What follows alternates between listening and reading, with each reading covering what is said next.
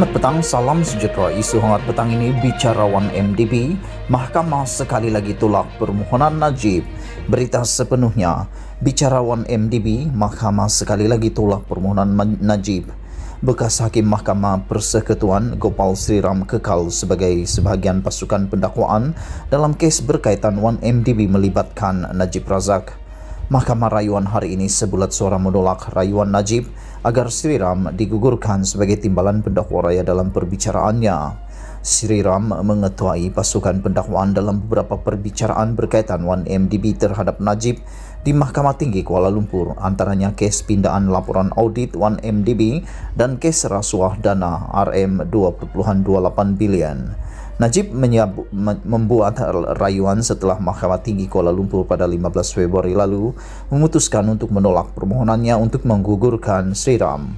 Antara permohonan yang telah difailkan bekas Perdana Menteri itu untuk tujuan tersebut adalah semakan kehakiman yang ditolak Mahkamah Tinggi Kuala Lumpur pada 28 Ogos tahun lalu.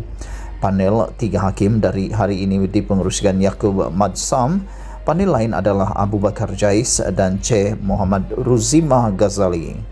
Panel hakim menyampaikan keputusan setelah mendengar hujah Sri Ram dan Peguam Najib Muhammad Safi Abdullah hari ini. Antara yang dibangkitkan pasukan Peguam Najib adalah Sri Ram belat sebelah dan dalam konflik konflik kepentingan.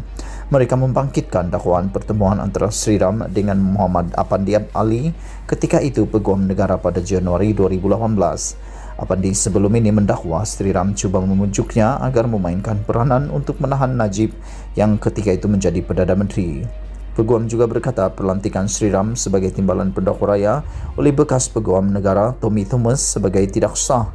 Mendakwa surat pelantikan bertarik 30 Ogos 2018 turut secara salah memberi kuasa penyiasatan kepadanya. Bagaimanapun, Yaakob memutuskan yang Mahkamah Tinggi membuat keputusan yang betul dengan menolak permohonan Najib. Kami berpendapat atau berpandangan tiada kesilapan yang boleh dirayu yang dibuat Hakim Mahkamah Tinggi dalam menolak permohonan perayu. Tiada merit dalam rayuan ini. Kami menolak rayuan ini dan mengekalkan keputusan Mahkamah Tinggi katanya. Sekian isu hangat petang ini. Jangan lupa tekan butang subscribe dan kita jumpa lagi. Bye-bye.